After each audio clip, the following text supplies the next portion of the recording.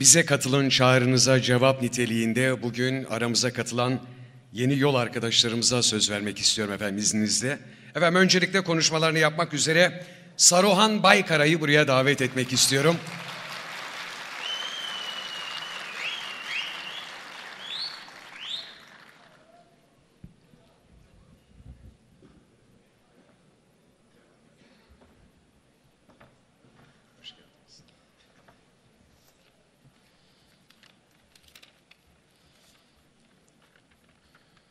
Öncelikle, öncelikle Sayın Genel Başkanımız ve İl Başkanımız hepiniz hoş geldiniz. Adım Saruhan Baykara. Küçükçekmece Kanarya Mahallesi'nden ikamet ediyorum. Şırnaklıyım, muhafazakar bir ailenin lideriyim.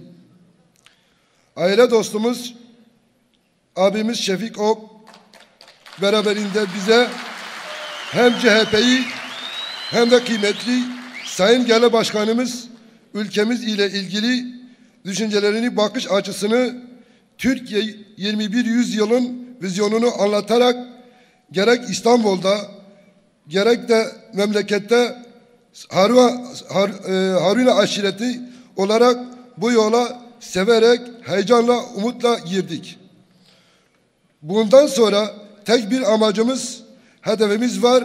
Sayın Genel Başkanımız Kemal Kılıçdaroğlu'nun Cumhurbaşkanı yapmakta. Sayın Genel Başkanımız dediği gibi geliyor, gelmekte olan hepinize tekrar tekrar teşekkür ederim, saygılarımı sunarım.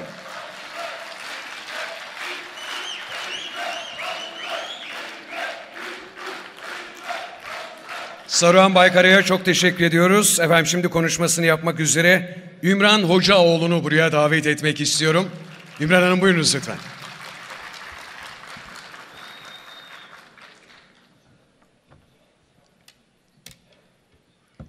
Öncelikle herkese merhabalar. Şu an gerçekten çok heyecanlıyım ve o yüzden en baştan sürçülisan edersem affola. Ee, bugün buraya çıkıp kendimi anlatmam için, kendimi sizlere aktarabilmem için bana bu fırsatı sunan Cumhuriyet Halk Partisi Genel Başkanımız Sayın Kemal Kılıçdaroğlu'na, daha sonra e, mücadeleci İstanbul'un e, il başkanı saygıdeğer Canan Kaftancıoğlu'na e, çok teşekkür ediyorum. İlk paragrafı tamamladım. Şu an çok heyecanlıyım gerçekten. Neden bu partideyim? Neden bu partiye geldim? Ee, bunu anlatmak istiyorum. Aslında çok insani sebeplerle geldim.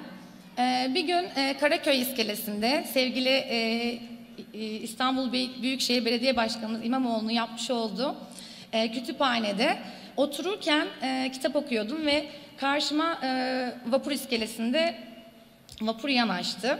İnsanlar çıkmaya başladılar. E, onları izlemek orada gerçekten çok güzeldi. E, ve iki tane bayan arkadaş çıktı. E, İstanbul Büyükşehir Belediyesi'nin üniformasıyla tertemiz, çok güzel iki bayan arkadaş. E, vapura iskeleye e, o halatı bağlarken o kadar e, kendimi coşkun hissettim ki, o kadar heyecanlandım ki e, dedim ki gerçekten e, aslında e, İstanbul gerçekten bu yeni vizyonla Cumhuriyet Halk Partisi'nin vermiş olduğu vizyonla değişti. Her yerde kadınları görebiliyorum. Şimdi Cumhuriyet Halk Partisi'nin vizyonu sayesinde bu uyanışı ve hareketliliği hissedebiliyorum. Nicedir yok olan kadın varlık buldu, görüyorum. Ve dedim ki İstanbul değişen, değiştiren vizyona e, İstanbul gönüllüsü olarak sunduğum katkıyı şimdi de Türkiye'nin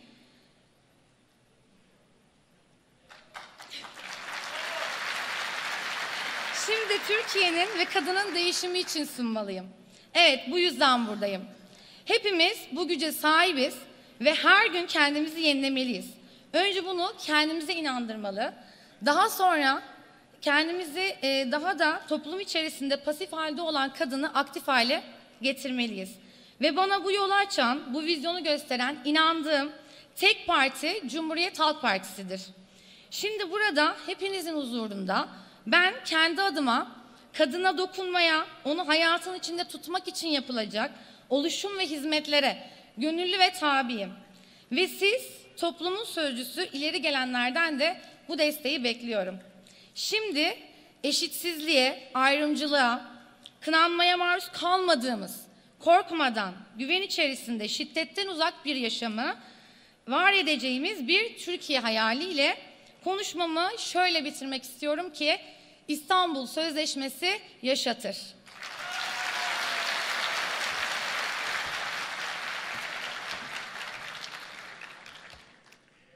Sevgili Ümran Hocaoğlu'na çok çok teşekkür ediyoruz. Efendim şimdi konuşmalarını yapmak üzere Maksut Konyar'ı buraya davet etmek istiyorum.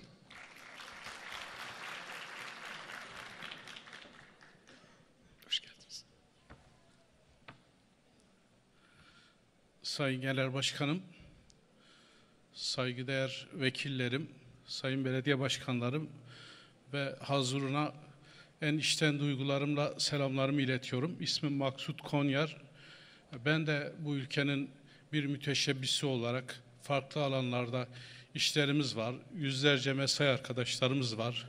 Ağrı'da doğdum, büyüdüm. Hasbelkader buradayız. 30 yılın üstünde İstanbul'da ikamet ediyorum ve e, 2002'de e, AK Parti'nin e, yolsuzluklarla, işte yoksulluklarla, e, e, üç ye yasaklarla mücadele e, sloganına biz halk yayınları destek verdik 2002 yılda. E, tabiri caizse halkın e, iktidarı o dönem destek verdi. Kabul etmek lazım. E, o değişimden sonra maalesef e, ülke bugün geldiği noktada biz hepimiz müzdaribiz. Yağmur yağıyorsa hepimiz ıslanıyoruz. Güneş doğuyorsa hepimiz e, bundan istifade ediyoruz. Bu ilkelerle bu ülke ve bu coğrafya gerçekten popülist liderlerden ve hamasetten çok bıktı. Ben e, Sayın Genel Başkan'ın demokratik kültürünü hakikaten çok saygıyla e, benimsiyorum, çok önemsiyorum. Benim gibi yığınlar, milyonlar çok benimsiyor. Farklı e, görüşlerimiz var. Farklı etnik kökenlerden geliyoruz. Farklı fikirlerde insanlarız. Ama ortak paydamız biz bu coğrafyada, bu ülkede yaşıyoruz. Bu ülkenin iyi olması lazım. Bu ülkeye demokrasinin, hukukun evrensel manada huzurun, barışın hakim olması lazım. Dünyanın bütün gelişmiş ülkeleri bağnazlığı dibe kadar yaşamışlar. Ve bu bağnazlıkta gerek e, etnik, gerek dinsel, mezhepsel e, vesaire e, sınıfsal kavgaların bir fayda vermediğini ve hızlıca buradan çıkışı hepsi hedeflemiş ve çıkan bu e, ülkeler, ileri ülkelerin tamamı inanılmaz evrensel bir sistem kurmuşlar. Bu sistemleri yüzyıllardır devam ediyor. E, değerli Hazurunun fazla vaktini e, bloke etmek istemiyorum. Sayın Genel Başkan'ın çok farklı görüşlerde, fikirlerde o masayı oluşturup bu masayı bugüne kadar e, ısrarla e, yani bu ülkenin geleceğine hizmet edecek şekilde emek vermesi çok büyüktür. Çok büyük bir değerdir. Bu gerçekten buna bir alkış gönülden istiyorum.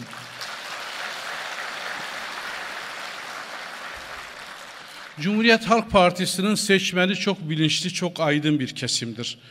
Ülkede emeği çok yüksektir. Baraja takılan HDP'yi destekleyelim de mecliste, temsilde e, e, adalet olsun. Efendim e, İyi Parti e, manipülatif hedeflerle, yollarla e, meclis dışında tutuluyor. Ben vekil desteğiyle onu farklı görüşler, farklı fikirler e, mecliste vücut bulsun diye e, çabasını çok erdemli buluyorum. Sayın Genel Başkan'a gönülden teşekkür ediyorum. Saygıdeğer Hazurun, on yıllardır bu partiye emeği olan Sayın Şefik Ok'a ben teşekkürlerimi iletiyorum. Ben e, resmi olarak bugün Cumhuriyet Halk Partili olmaktan şeref duyuyorum. Ama fiili olarak Sayın Başkan'ın iki e, seçimine de çok büyük emeğim olmuş. Kendim de ailem de bizzat desteklemişim. Burada ve mesai arkadaşlarımdan bundan sonraki süreçte iyilerin görünmeyen gizli orduları vardır. Hazreti Ali radıyallahu anh'ın bir sözüdür bu. Sayın Genel Başkan iyi bir insandır, görünmeyen binlerce orduları var onun e, savunucusu. Ben ülke değişimini ülke değişimini gerçekleştiren Canan Hanım'ın şahsında bütün il yönetimine müteşekkirim. O emek e, inanılmaz Türkiye'nin dinamiklerini e, tetikledi. Ben bu minvalde bundan sonraki siyasi aktif siyaset yapan biri değilim. Bunu dürüstçe söylüyorum. Ben aktif siyasetten de çok e, bir yetenek işidir. Yani bir Mevlam kimilerine veriyor, kimi.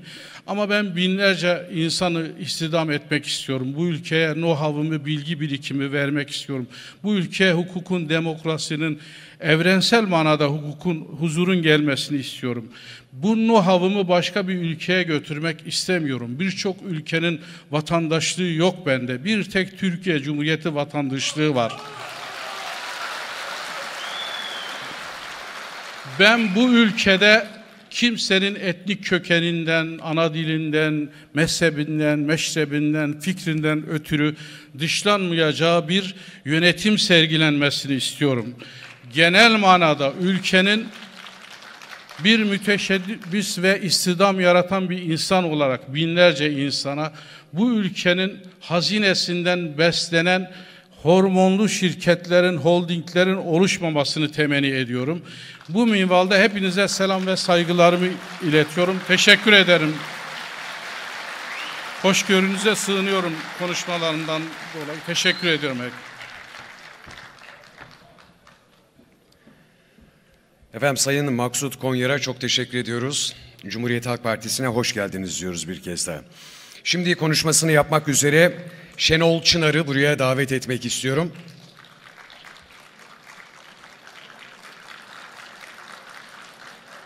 Şenol Bey için biraz sürpriz oldu.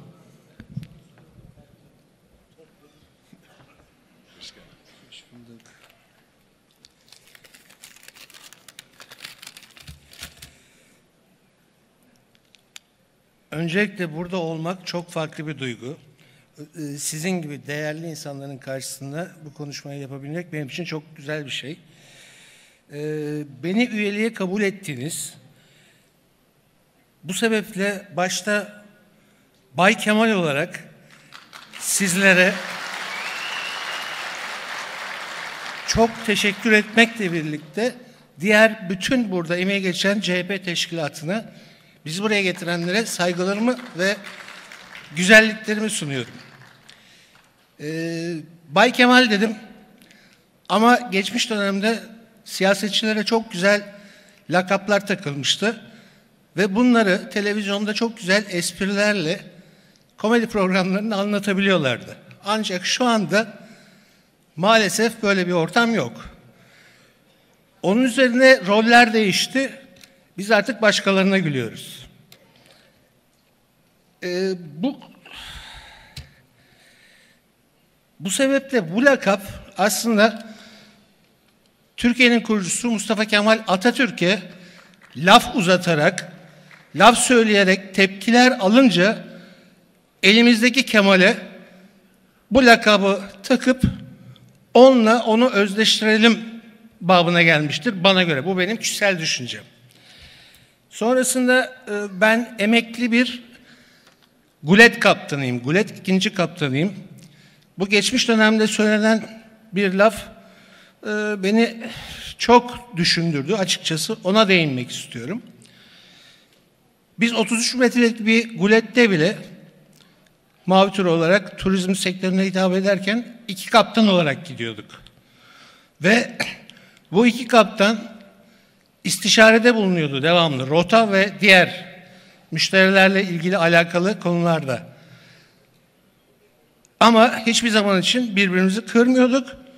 Rotamızı ve düzenimizi ona göre götürüyorduk. Yani e, bu istişare ve uzlaşma her zaman aramızda vardı. Ancak taka kullanan insanlar bugünkü Türkiye'yi benim kendi kişisel düşüncemdir. Titanik olarak adlandırılabilecek bir duruma getirdikleri sebebiyle dalgalı ve fırtınalı okyanuslara sürdüler. Sürüldü gidiyoruz. Bu büyük gemi tek bir kaptan ile gitmez. Bir kaptan ve yardımcı kaptanlarla beraber onların uzlaşmaları ve istişareleri ile beraber inanıyorum ki doğru, düzgün, fırtınasız ve duru sulara gideceğiz. Sonrasında da gerçek deniz feneri göreceğiz. Tünelin ucunda ışık aramaya gerek yok.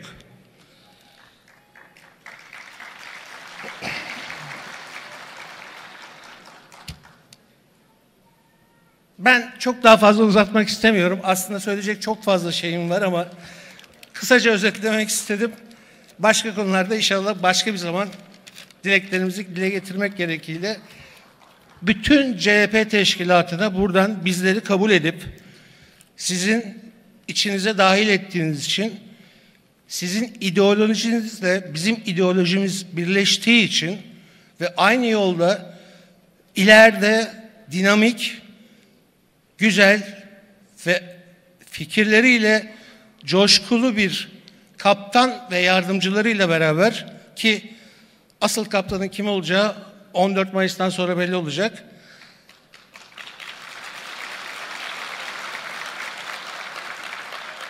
Hep beraber deniz fenerinin ışığını gerçekten görmek amacıyla. Teşekkür ederim size.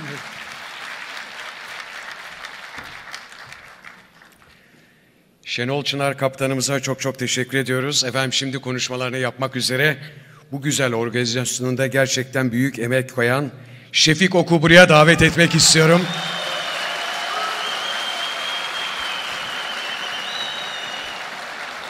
Hoş geldiniz.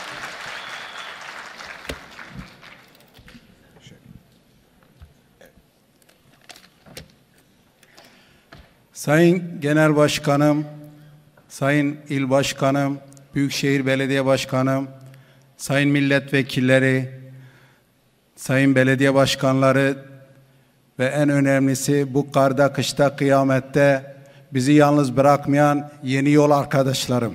Hepinizi saygıyla selamlıyorum.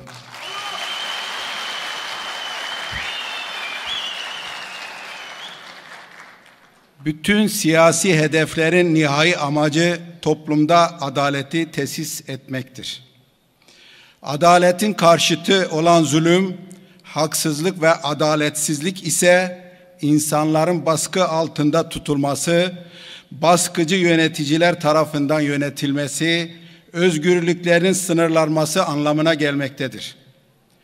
Bu yönetim şekillerinde adaletin olmadığı, keyfiliğin egemen olduğu söylenebilir. Türkiye'de artık yeni bir dönemin kapısını açmalıyız.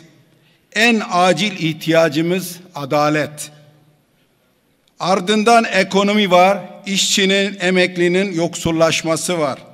Üniversite gençliğinin, öğrencilerin sorunları var. Çiftçinin, besicinin sorunları var. Çocuklarımızın mağduriyeti var. Demokrasi için birliği sağlamak zorundayız.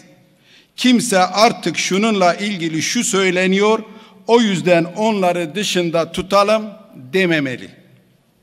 Bu yüzden bizler Genel Başkanımız Sayın Kemal Kılıçdaroğlu'nun adaletsizliğe karşı yola koyulmasını, adalet yürüyüşünü önemli ve değerli buluyoruz.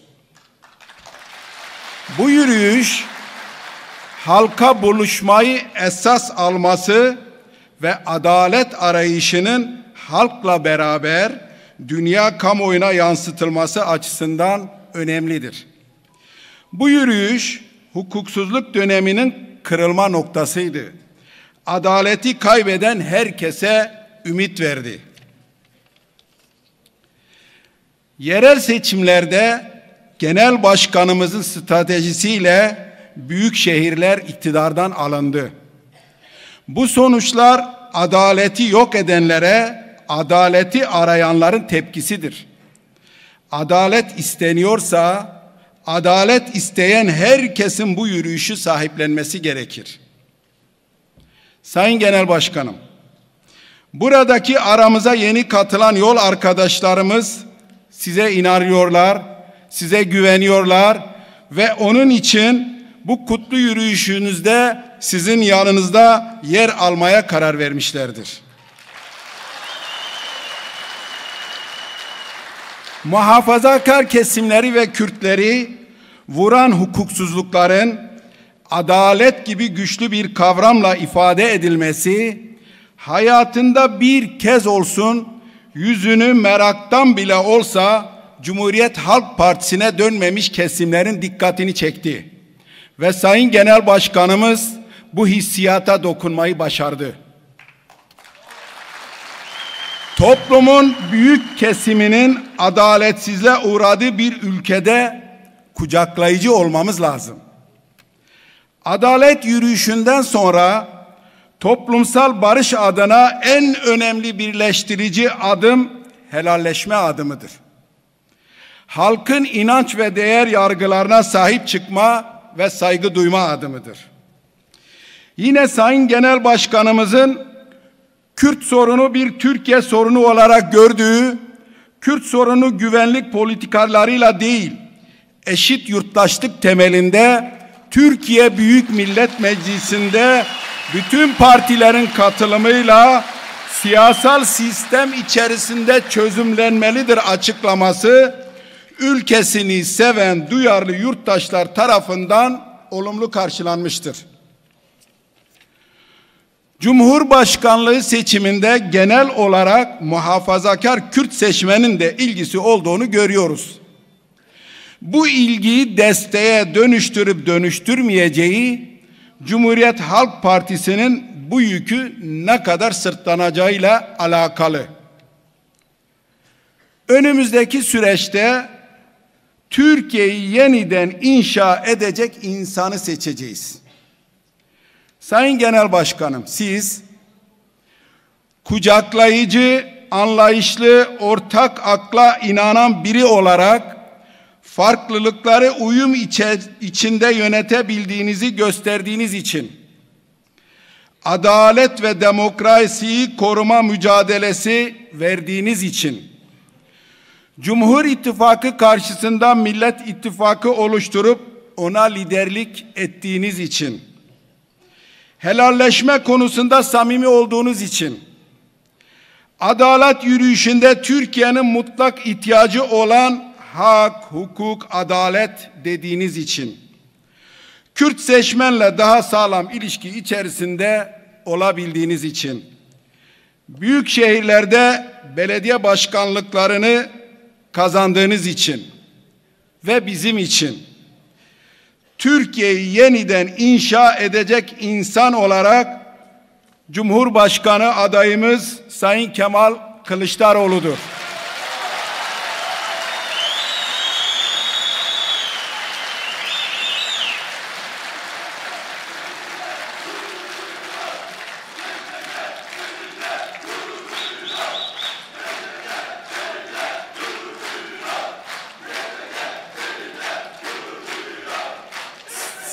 Saygılar sunuyorum Sayın Genel Başkanım. Yolunuz açık olsun Sayın Cumhurbaşkanım.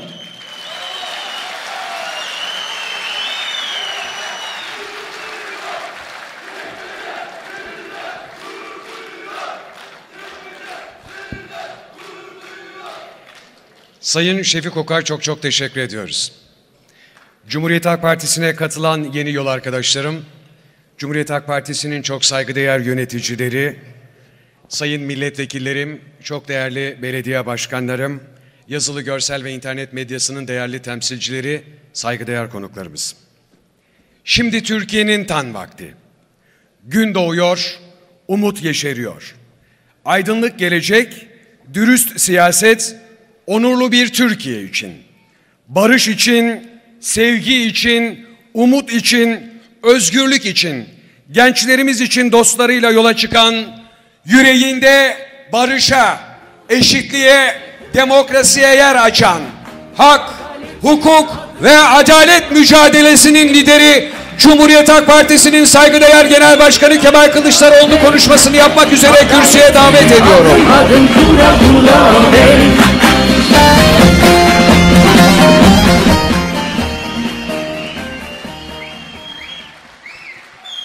Teşekkür ederim. Teşekkür ederim. Güzel bir pazar günündeyiz. Dışarıda yağmur yağıyor. Dolayısıyla beklediğimiz bereketi en azından bugün de görüyoruz, hissediyoruz ve yaşıyoruz. Güzel bir salondayız. Türkiye'nin geleceği açısından endişelerimiz var ve bu endişeleri gidermek için bir aradayız. Daha önce İstanbul'da yaptım toplantıda, bir mitingde bize katılın çağrısı yaptım. Öyle bir noktadayız ki her evde huzursuzluk var. Hayatımızın her alanında acaba yarın ne olacak diye düşünen insanlarımız var. Türkiye bunu hak etmiyor. Ve Türkiye'nin bu açmazdan çıkması lazım. Beraber yaşamamız lazım. Birlikte yaşamamız lazım. Kavga etmeden yaşamamız lazım. Farklı düşünceleri saygıyla karşılamak lazım. Kavga etmenin ne yararı var? Evde kavga ettiğiniz zaman zaten görüyorsunuz ne kadar yararsız olduğunu.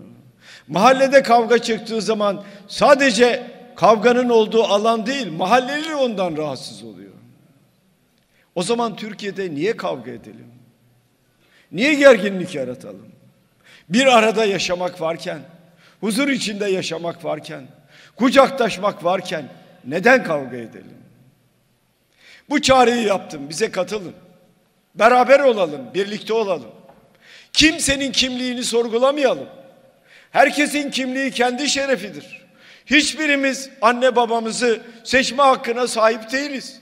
O zaman kimliği niye siyaset konusu yapıyoruz? Kimse kimliğinden ötürü asla ve asla ötekileştirilmemeli, dışlanmamalı. İnancımız, herkesin inancı vardır. Herkesin inancına saygı göstermek zorundayız. Allah'la kulun arasındaki ilişkiye benim girme hakkım var mı? Bir başkasının inancını sorgulama hakkım var mı? Yüce Yaradan'a verilen bu hak, daha doğrusu Yüce Yaradan'ın sahip olduğu bu hakkı, peygambere verilmeyen bir hakkı niye bir başkası kullansın? Sen inançlısın, sen inançlısın diye insanları ayırsın, bölsün. Buradan da çıkmamız lazım. Herkesin yaşam tarzına saygı göstermemiz lazım. Dolayısıyla bize katılın, kucaklaşalım dedim. Arkadaşlarım katıldılar. Birkaç arkadaşım bu kürsüde konuştu. Ama bir şeyler ifade etmek isterim. Cumhuriyet Halk Partili olmak kolay değildir. Cumhuriyet Halk Partili olmak için adalet isteğinden asla vazgeçmeyeceksiniz. Sadece yakınlarınız için değil, sizi sevmeyenler için de yeri geldiğinde adalet haksızlığa uğradıysa onun için de adalet isteyeceksiniz. Çünkü haksızlık karşısında susan dilsiz şeytandır. Bütün haksızlıklara karşı çıkacak. Bütün haksızlıklara.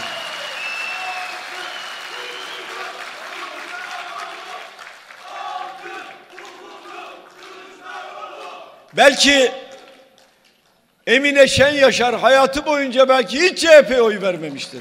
Ama onun uğradığı haksızlığa benim isyan etmem lazım. Bu yanlıştır demem lazım. İnsanı insan olarak değerlendirmemiz lazım. Haksızlık karşısında hiçbirimizin susmamamız lazım. Bunun için CHP'li olmak kolay değildir. Ben haksızlığa uğradığımda isyan edeyim ama arkadaşım haksızlığa uğradığında ona hiç ses çıkarmayayım. Olmaz. Adalet karşısında çifte standart olmaz. Adalet hepimiz için geçerli bir kavramdır. Kainat adalet üzerine inşa edilmişse adaleti hepimiz kendi ruhumuzda ve bedenimizde hissetmeliyiz. O nedenle Mevlana der ki Mevlana adalet kutup yıldızı gibidir. Yerinde sabit durur ama bütün kainat onun etrafında döner. Bu erdemi her birimizin tek tek ruhunda hissetmesi lazım. Tabi CHP'li olmanın ağırlığı vardır. CHP'li olmak omuzlarına yük almak demektir. Yani CHP'li olmak demek kul hakkı yememek demektir. Kul hakkı yemek en büyük günahsa, en büyük günahsa kul hakkı yememektir.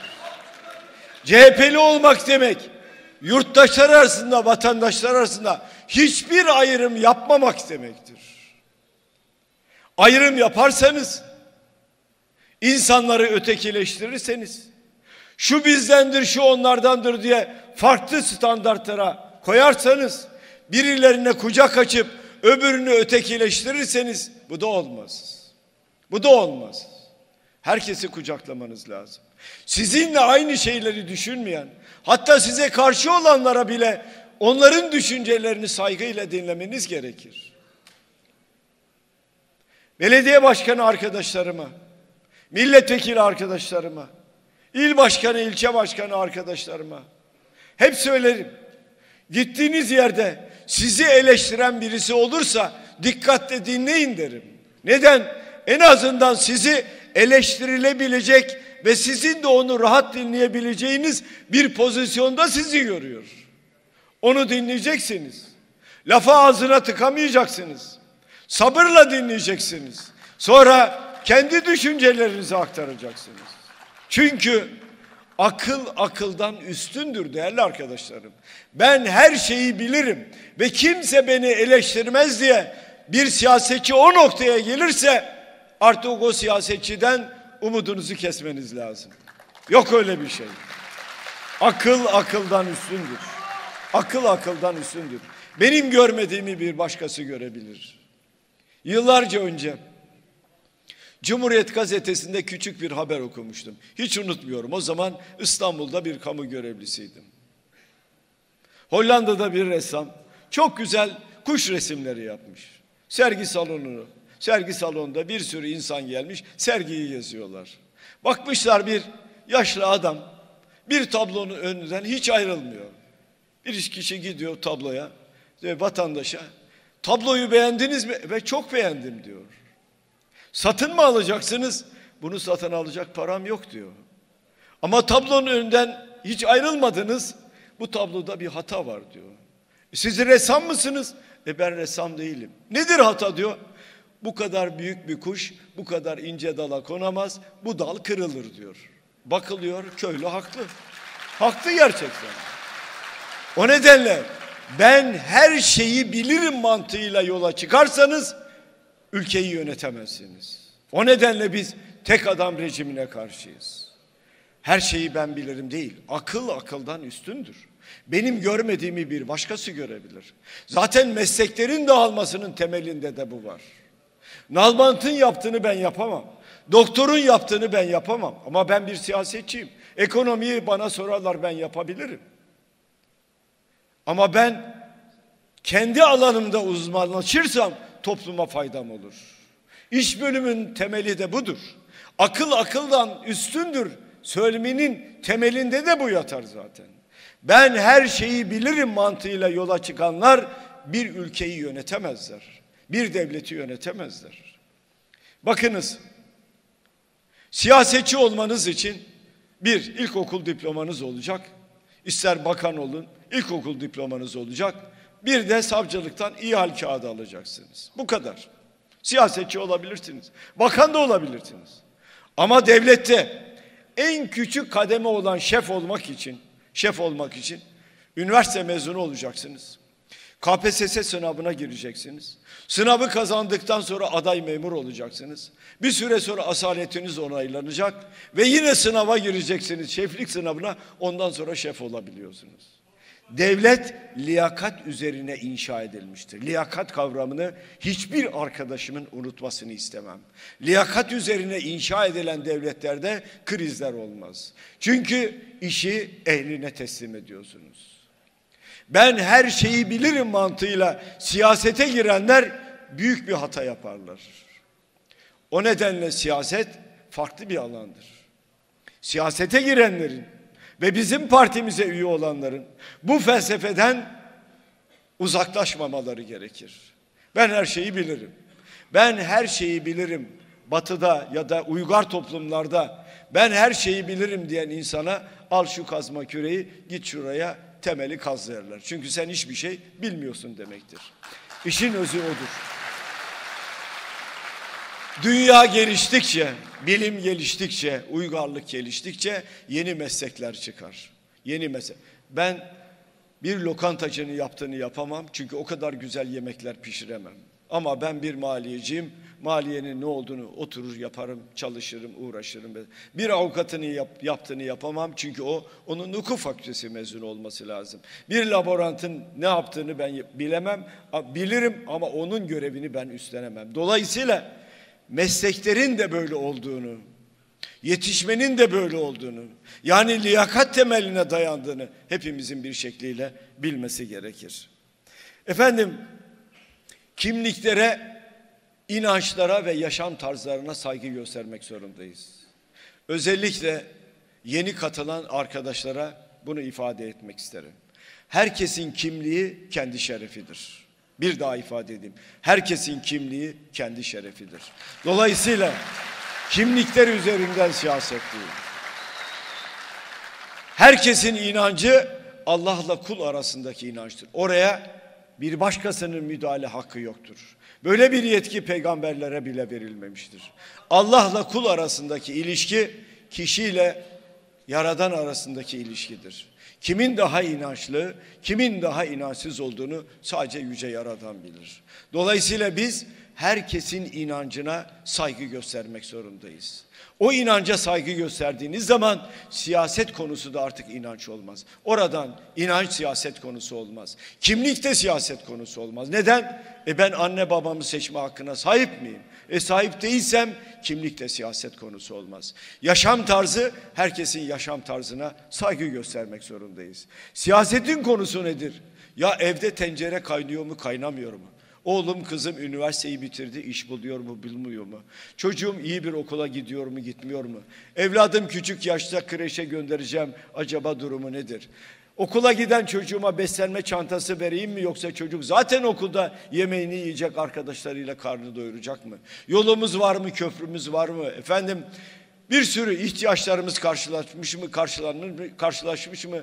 Dolayısıyla bütün bunların tamamı siyaset konusudur. Siyaset konusu budur. Biz buradan toplumu çektik, başka bir yere götürdük. O nedenle siyasetin de ahlak temelli olması lazım. Ahlak temelli bir siyaset büyür, ahlak temelli bir siyaset topluma güven, güven verir. Geçmişten ders çıkarmamız lazım. Geçmişten ders çıkarmayan toplumlar büyüyemezler. Aynı hatalara sürekli düşerler. Aynı hatalardan arınmak lazım. Özellikle yeni katılan arkadaşlarıma Cumhuriyet Halk Partisi'nin felsefesini anlatmak için bunu söylüyorum.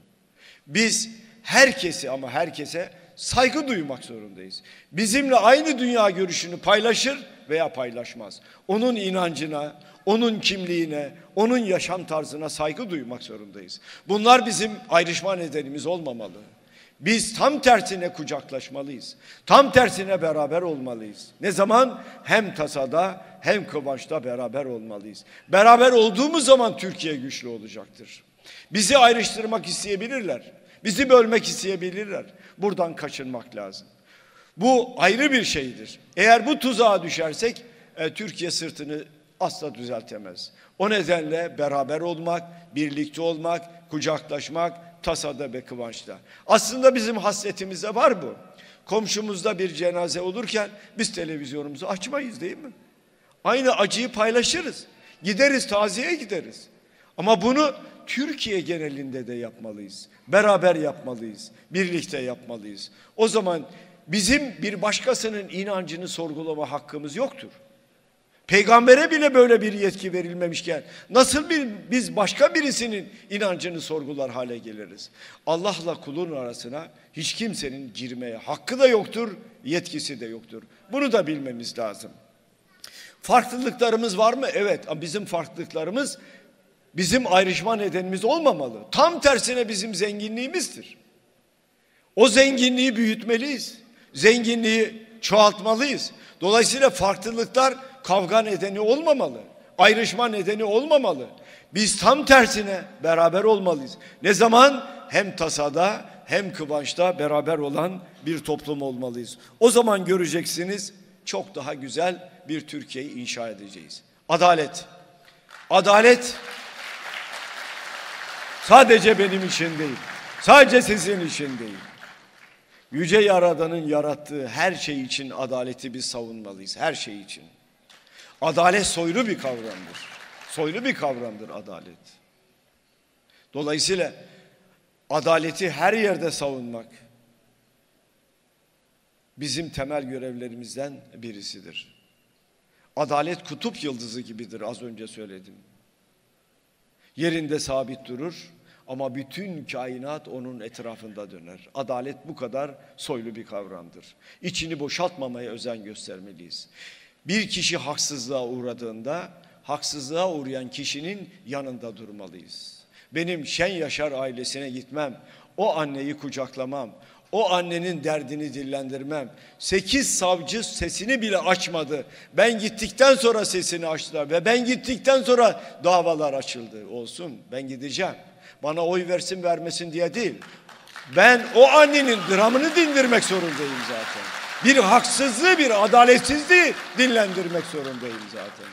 Bunu yapmadığınız zaman siyaseti niye yapıyorsunuz? Buradan Türkiye'nin çıkması lazım.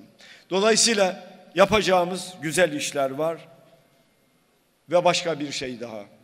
Siyaset kurumunun ahlak temelli olması lazım.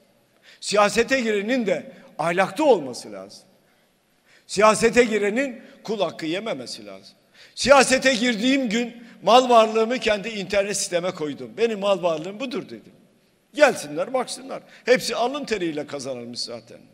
Bir kişi siyasete girdikten sonra zenginleşmişse bilin ki malı götürmüştür. O kişiye itibar etmeyin. İtibar etmeyin asla. Asla itibar etmeyin. İnançları siyasetine alet edenlere de asla itibar etmeyin. Efendim siyasete girerken sadece yüzüğüm vardı, şimdi gökdelenlerim var. Olmaz, olmaz bunlar, olmaz. Kul hakkı yemek en büyük günahtır bakın. Yüce Yaradan ne diyor? Her türlü günahla gelin affederim ama kul hakkıyla karşıma gelmeyin. Kul hakkıyla gitmeyin. Kul hakkı eğer yenmeyecekse, kul hakkı yiyenlere oy vermeyeceksek ve biz inançlı insanlarsak oturup bunu düşünmek zorundayız. Oturup düşünmek zorundayız. Siyaset aynı zamanda vatandaşına hesap vermek demektir. Yani siyasetçi hesap veren konumdadır. Siyasetçi hesap vermiyorsa bilin ki başka bir şeyler yapıyor. Siyasetçi niye hesap vermesin? Görevi ne? Ben şunu şunu şunu yapacağım diyecek. Güzel. Vatandaş da oy verecek. Yapmadıysan vatandaş hesabını soracak. Siyasetçi de onun hesabını verecek. Yeni bir siyaset kültürünü başlatmak zorundayız. Yeni bir siyaset anlayışını başlatmak zorundayız. Bakın o kadar ayrıştık, o kadar kamplaştık ki neredeyse birbirimize düşman olduk. Ya niye düşman oluyoruz? Aynı coğrafyada yaşıyoruz. Aynı suyu içiyoruz. Aynı havayı teneffüs ediyoruz. Niye kamplaştık? Niye kavga ettik? Neden bu kadar kamplaşma ve kavga oldu? Buradan kesinlikle çıkmamız lazım. Buradan çıkmamız lazım. İnsana saygı duymamız lazım. Bütün canlılara saygı duymamız lazım. Kainata saygı duymamız lazım. Unutmayın. Yüce Yaradan kainatı da adalet üzerine inşa etmiştir. Ve biz bu büyük adalet kavramını içselleştirmezsek ne siyasette ne de başka bir yerde adaleti tam olarak sağlayamayız. Türkiye'nin itibarı, elbette Türkiye'nin itibarlı bir devlet olması lazım. Türkiye zengin bir ülke, kalkınan bir ülke ve Türkiye'nin bir başka önemli rolü daha var. Bütün mazlum milletlere örnek olan bir Türkiye. Çünkü biz Milli Kurtuluş Savaşı verip bağımsızlığımızı kazandıktan sonra bütün mazlum milletler Türkiye'yi ve Gazi Mustafa Kemal'i örnek aldı. Onlar da bağımsızlık mücadelesi verdiler. Biz cumhuriyetimizi kurduktan sonra onlar da cumhuriyetlerini kurdular. Biz örnek olduk.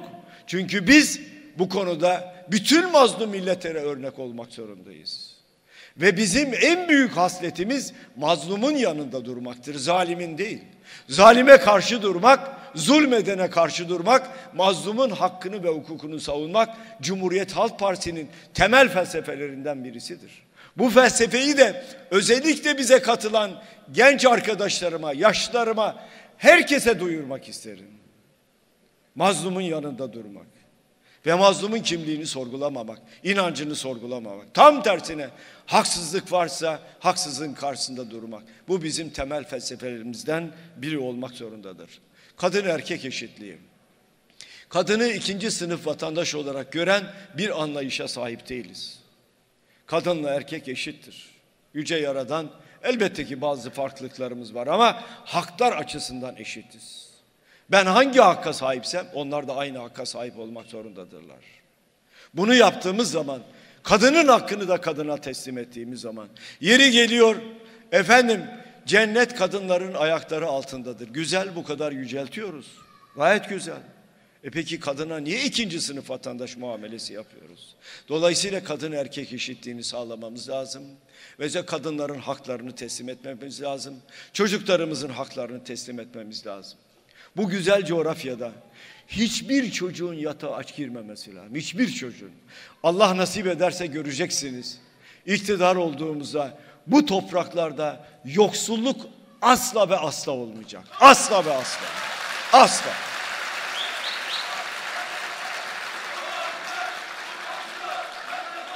Devletin devlette 27 buçuk yıl çalıştım. 27 buçuk yıl çalıştım. Emekli olduğum günde mal varlığımı açıkladım. Devletin nasıl olması gerektiğini bilen birisiyim. Devletin bütçesinden sonraki en büyük bütçeyi yönettim. Bir Allah'ın kulu çıkıp Kılıçdaroğlu şuradan beş kuruş para kazandı dememiştir. Diyemez de zaten. Diyemez de zaten. O zaman siz devletin varlıklarını yani vergileri vatandaş için harcayacaksınız. Allah nasip ederse aile destekleri sigortasını getireceğiz. Hiçbir çocuğu, hiçbir anne yatağa aç yatırmayacak. Karnı doymuş, gözü pek, rahat, güzel okuluna giden, beslenme çantasına şunu mu koyayım, bunu mu koyayım, bunu bile düşünmeyecek. Kendi evladını besleyemeyen devlet olur mu Allah aşkına ya? Kendi evladının karnını doyuramayan bir devlet olur mu Allah aşkına ya? Bir devlet olur mu? O nedenle ben söylüyorum bazen. Şu beşli çetelerden bütün o paraları alacağım, alacağım. Alacağım. Kul hakkı yiyenden o paraları alacağım. Onlar diyorlar ki efendim biz Amerika'ya götürdük, İngiltere'ye götürdük, Almanya'ya götürdük. Alamaz. Bay Kemal o paraların tamamını alacak ve getirecek buraya. Ve tamamını getirecek. İsterse Fizan'a gitsinler. isterse Fizan'a gitsinler. Kul hakkı yemek günahsa ben onun hesabını sormak zorundayım. Kimse alın teriyle kazanmışsa benim başımın üstünde yeri var. Ben birisi varlıklı diye ona asla düşman değilim. Asla niye varlıklı oldun değil. Keşke hepimiz zengin olsak. Keşke hepimizin durumu çok iyi olsa. Ama bir çocuğumuz açsa 85 milyonda aç demektir. Bir çocuğumuz yatağa aç giriyorsa 85 milyonda yatağa aç giriyor. Benim felsefem budur. Herkesin karnı doymalı, herkesin işi ve herkesin aşı olmalı. Sanayicimiz de desteklenmeli. Kim bu ülkede üretim yapıyorsa, ya çiftçinin zarar ettiği bir düzen olur mu Allah aşkına ya? Çiftçi zarar ediyor. Dışarıdan buğday al, dışarıdan arpa al, dışarıdan pamuk al, dışarıdan mercimek al, dışarıdan et al, dışarıdan canlı hayvan al. Ya bu bereketli toprakları niye ekemiyoruz arkadaş ya? Neden ekemiyoruz? Hepsini düzelteceğiz. Allah'ın izniyle göreceksiniz. Hepsini düzelteceğiz. Bu memlekete huzuru, bu memlekete bereketi getireceğiz. Bizim belediye başkanlarımıza diyorlar ki seçimlerde, değil mi Sayın Başkan? Sakın CHP'li belediyelere oy vermeyin. Ne olur? Gelirse sosyal yardımlar kesilir. Hatta başkan süt sözü vermişti. Hanelere süt vereceğim, fakir ailelerde hanelere süt vereceğim diye. Bir gün Aradan bir süre geçti. Başkan ikinci seçimi de kazandı, geldi, oturdu ve iktidar sahipleri başkanı eleştirdiler. Hani sen süt vereceksin, vermiyorsun diye. Oysa başkan aylardır süt dağıtıyordu. Ama hangi felsefeyle? Sağ elin gördüğünü sol el görmeyecek. Bu felsefeyle dağıtıyordu.